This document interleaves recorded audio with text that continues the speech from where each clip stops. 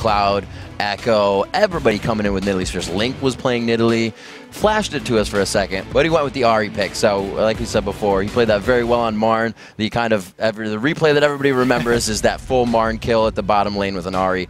So we'll see that coming in. Echo on his comfort champion, but yeah, I think one of the reasons that the AP Nidalee mid has kind of fallen off is because she lacks a lot of playmaking ability early game. Right. She has no hard CC that she's bringing to that lane.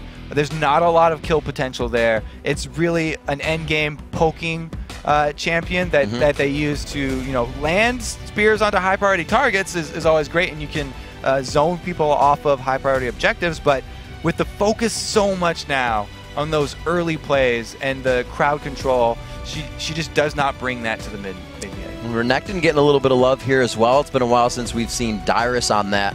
we'll have to see how he goes into it. Usually not not too much from him early game. Obviously, Renekton that meat shield, so we'll have to see TSM kind of draw this one out into the game in that mid to late. Yeah, so after this very new composition that they used earlier in the day that they've been using in um, their rank 5 games. Back to north. They went, oh, way far back to old school TSM. They got the Bash brothers, Nasus and Renekton, comboed with Reggie's Karthus to oh. add in onto any sort of uh, the side lane ganks that happen. So this is a TSM going back to their roots after they after they got their new composition just stomped on. I feel like Velocity is going to want to match this lane.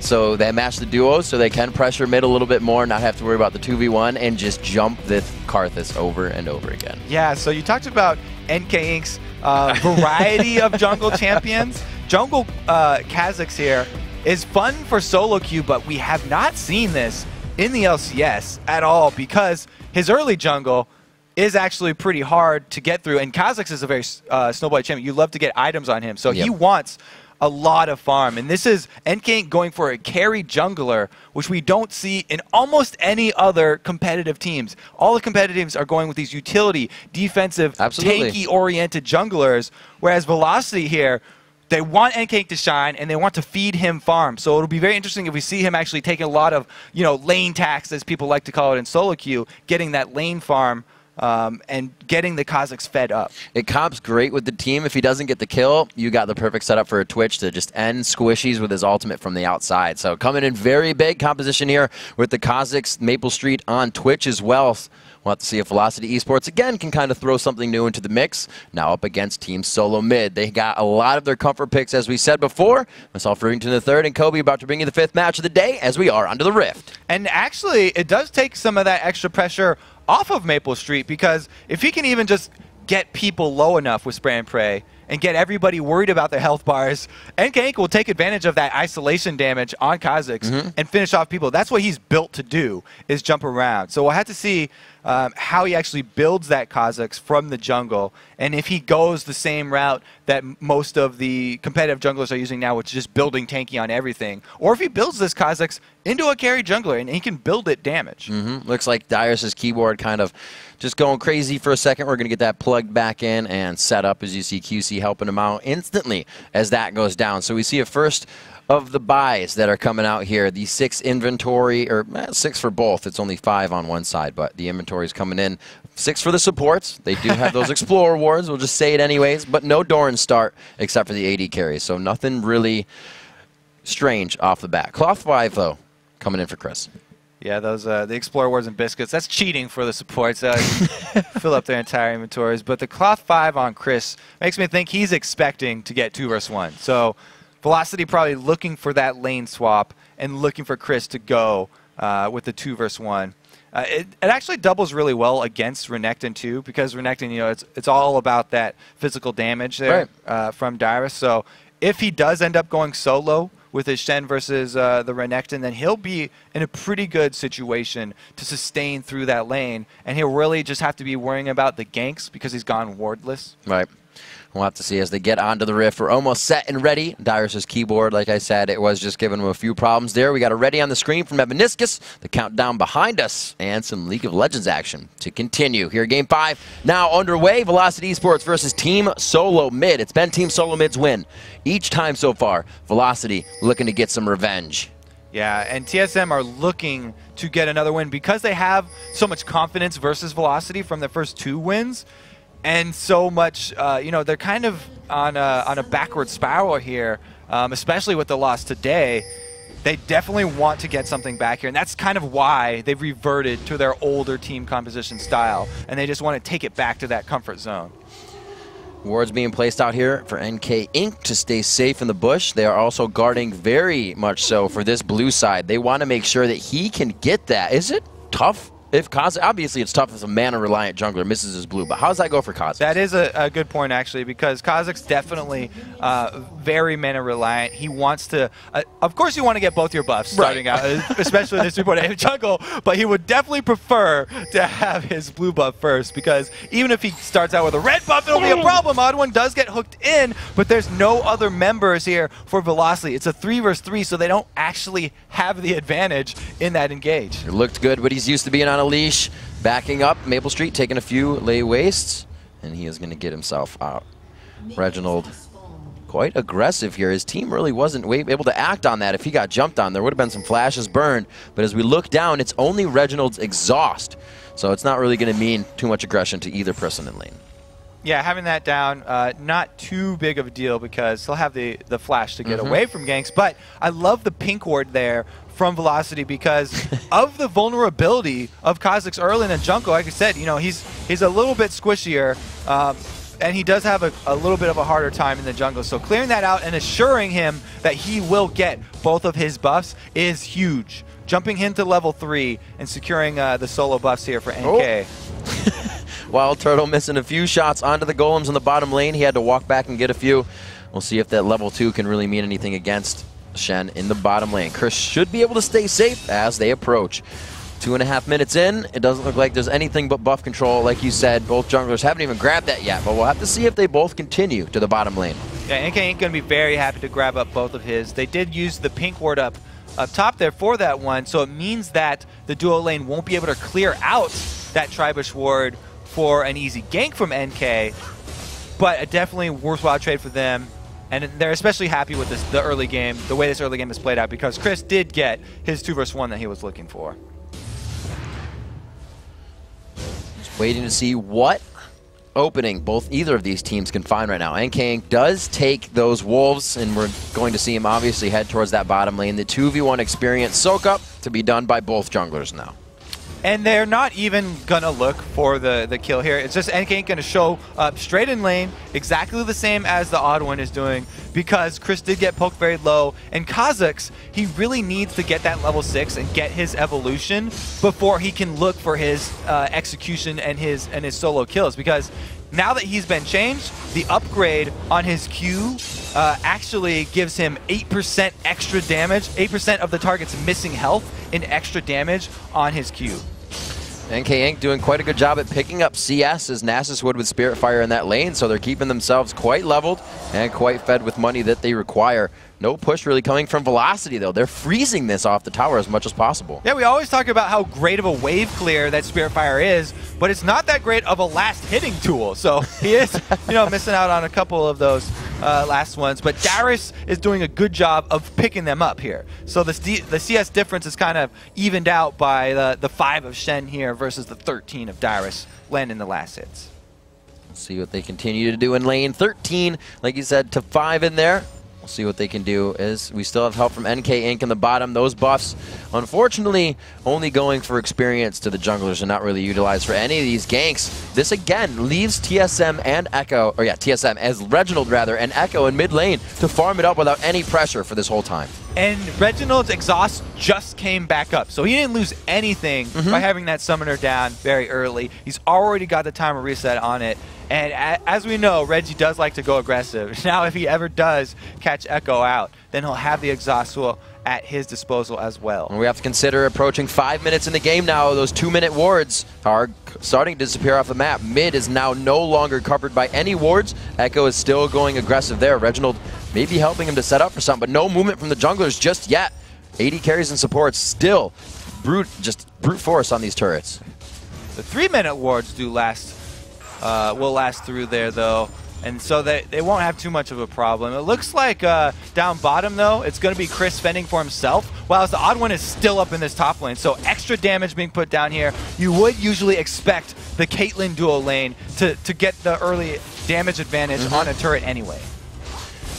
We'll see where they transfer to. It's going to be, again, NK Inc. heading down to the bottom lane and just farm up. We'll see. But Reginald finally going back, getting more rewards, getting more sustain for lane. We'll see what his first item is as he comes back versus Echo.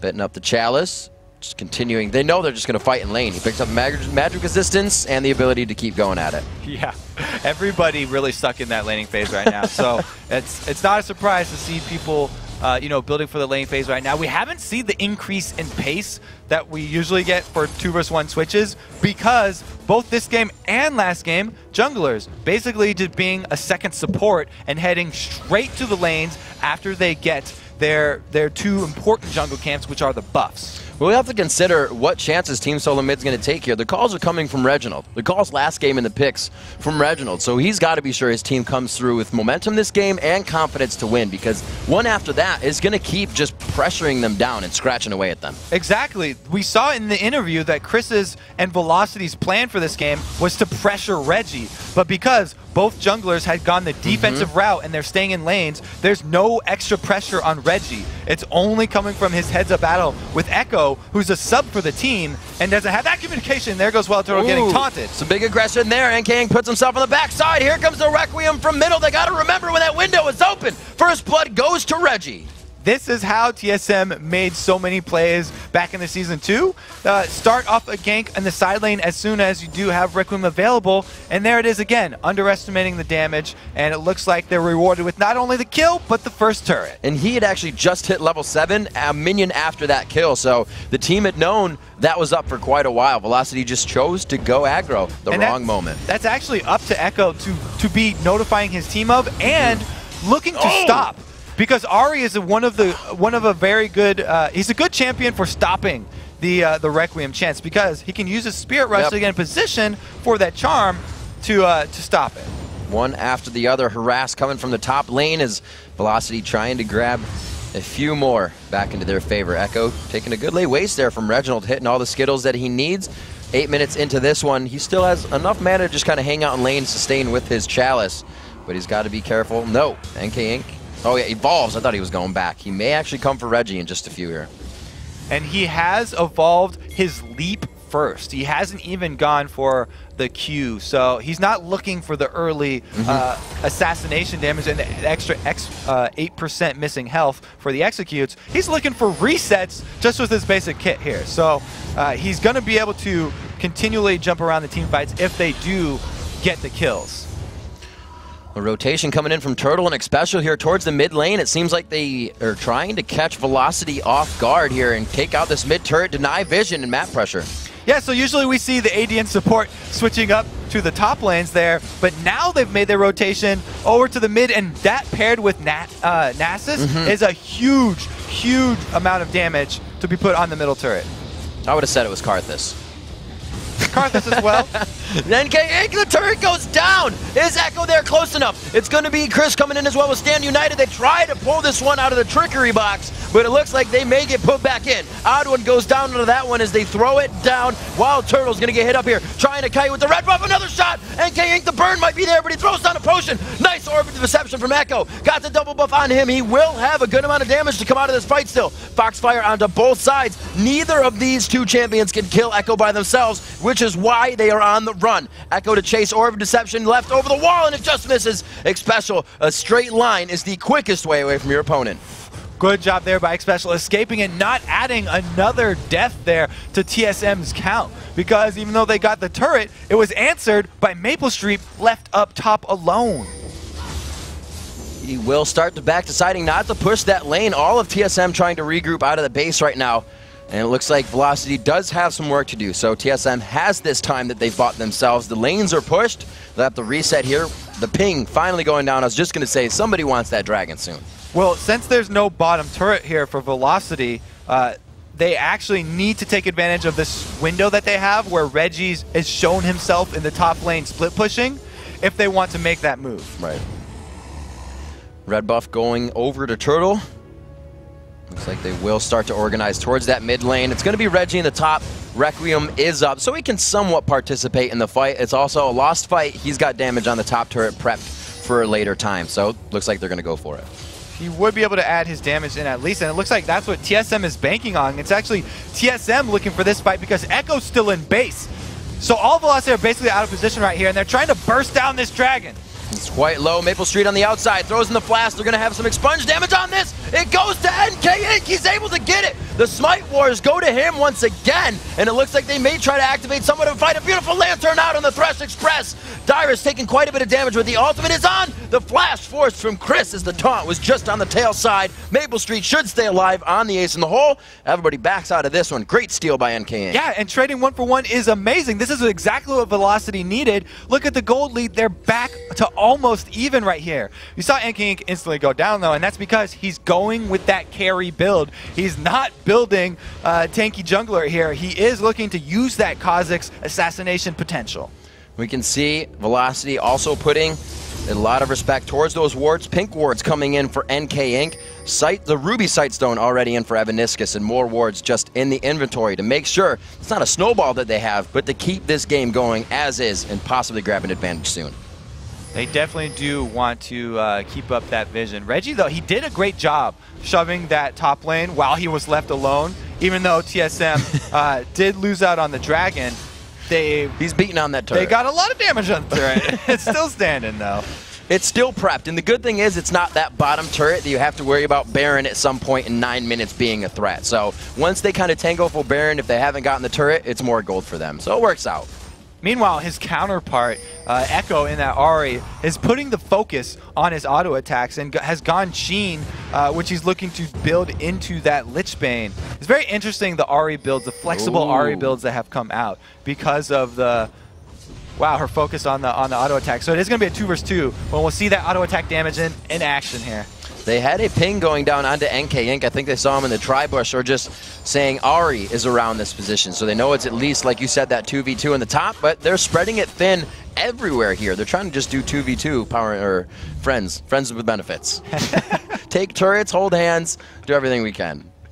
They didn't get much benefit out of that action up top, though, as both sets of friends end up recalling here. And you can see why. Because the goalie is so even right here, you can always tell how the game is going with the where the wards are placed. Both teams basically drawing the line in that river right here and not feeling uh, like they have the pressure needed to venture far into the jungle of their opponents. So this is actually pretty good for Velocity, who want NK Inc. Uh, to have the time to ramp up on his Kha'Zix and turn his tear into the Muramana where he actually starts getting some damage benefits from it. So in the game of focusing Reginald, obviously they haven't really had the chance to due to the way the lanes were matched up. Does that come another point because now that Requiem's up, he's got Death Defied as his passive. It's almost unfocusable. Yeah, they've kind of missed their window where they talked about wanting to put a lot of early pressure onto Reginald and force TSM into some bad calls. Now it's already at the mid-game point, and Reginald does get focused here as he's taunted under the turrets for a little extra damage. Oh, a few good shots there. Maple Street making his way in all in Viz status, but he's not going to be able to do much. But that pulls four and out of the top lane. That ward has seen them.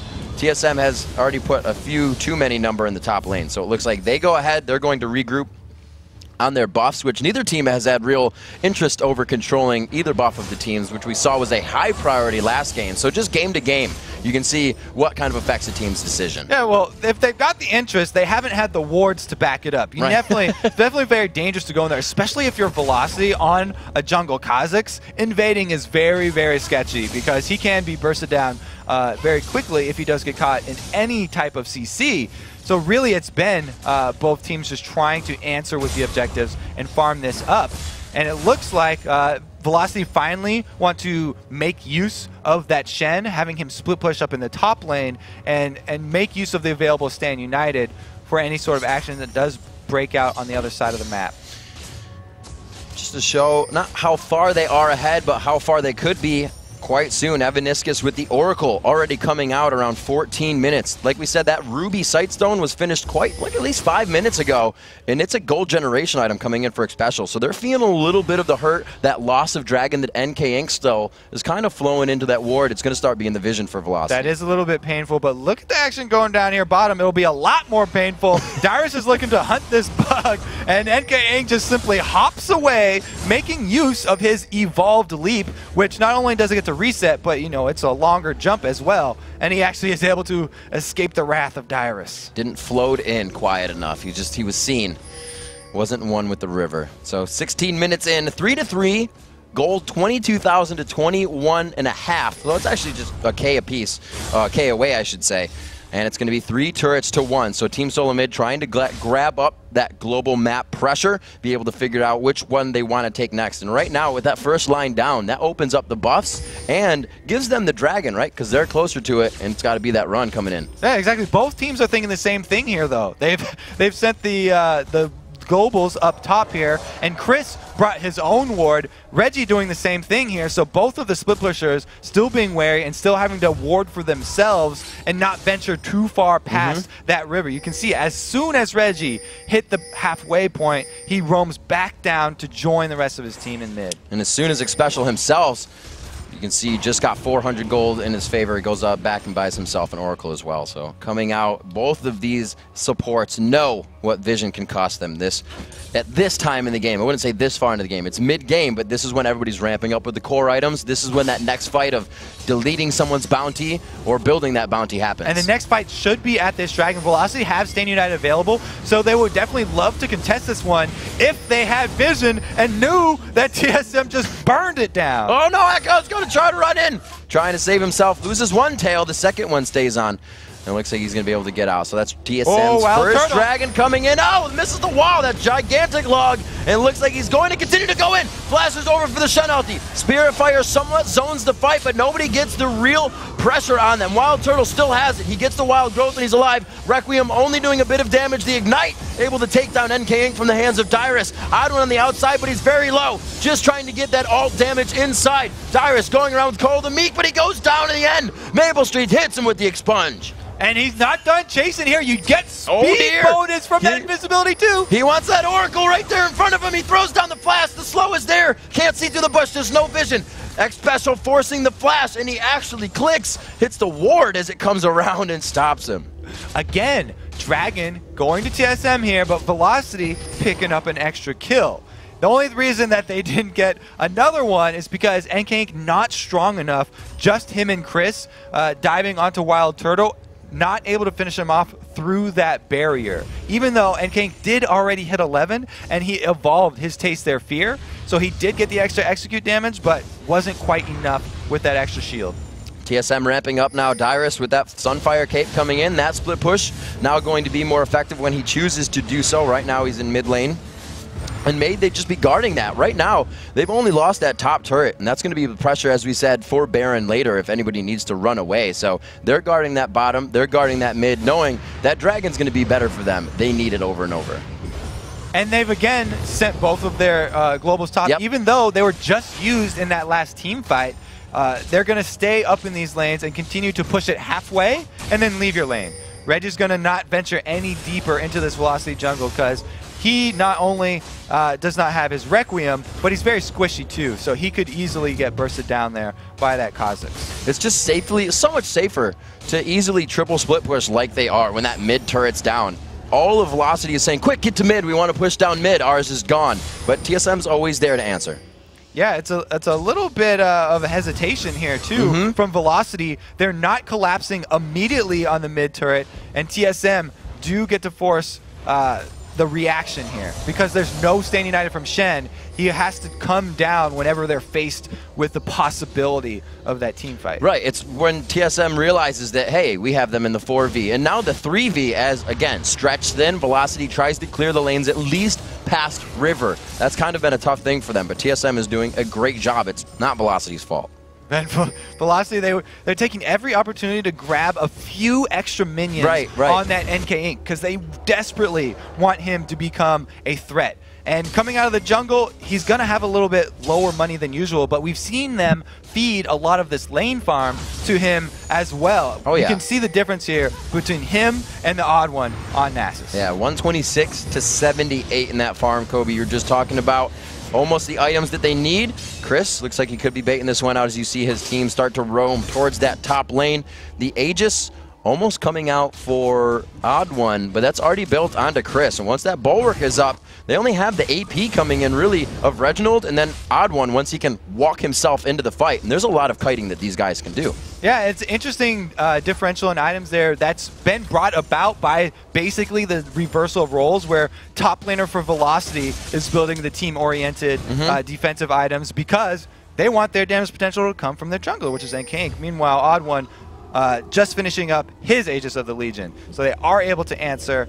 Uh, both teams are going to be wrapped in that protective aura.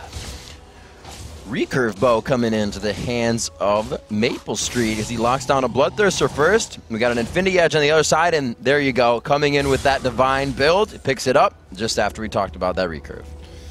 It's interesting how you know the game has sort of uh, stalled out a little bit because each team are looking for that free farm. Reginald always looking to carry on that Karthus, and he is taking that solo lane free farm there for TSM. While Velocity, on the other hand, need NK Inc. to be the assassination uh, resetting champion that Kha'Zix is, so that he can take out those threats early game.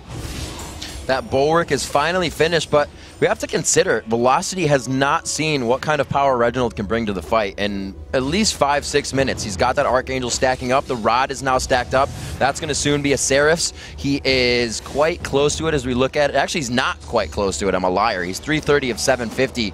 But still, that power he's bringing in hasn't been seen by Velocity. So we'll have to see how they react instantly to this next fight of Area of Effect. You're getting split up. And I do like that, you know, adaptation by Reggie because he realized that this is a farming game here. we're, we're stalling out a little bit and just looking Yeah. for those high impact team fights. He's built accordingly with both of his items as the ramping up items that take time to power up. And he is just fine with stalling this one out because he's only going to get stronger as the time goes on.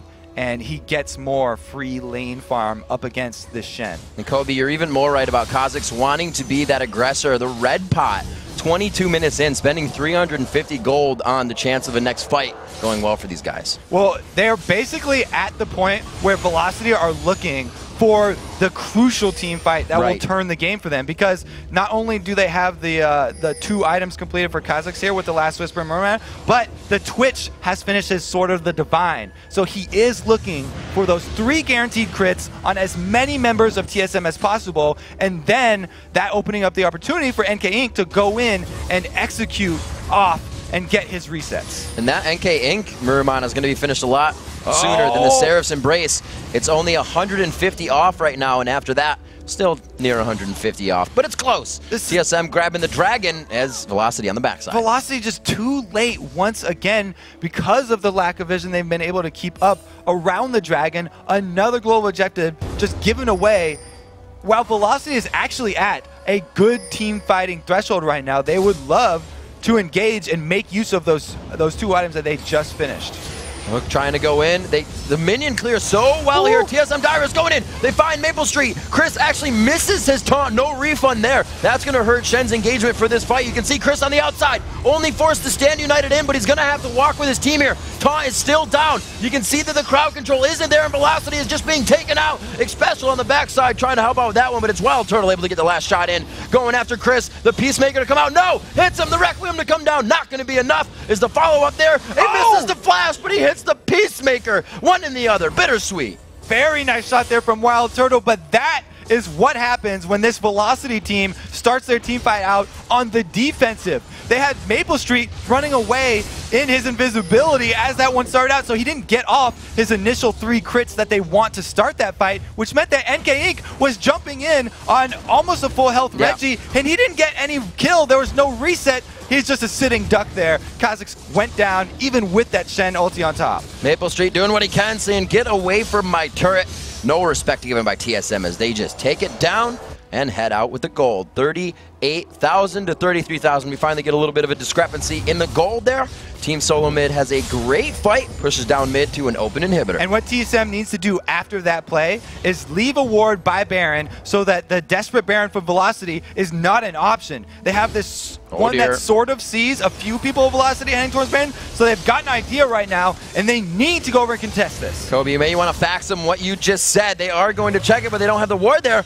But it looks like Velocity even knows this one. They are not going to be caught out, and they say this was risky, and we have to be very careful. They did not want to actually have a fight at that Baron. They were banking on TSM having at least two or three members recalled at this point. But they did a good job uh, leaving that one stray ward there that saw out the velocity attempt at the Desperate Baron. And now that TSM have defended that early Baron attempt, they have an exposed inhibitor that they can go back to and force another fight when Reginald's Requiem's back up.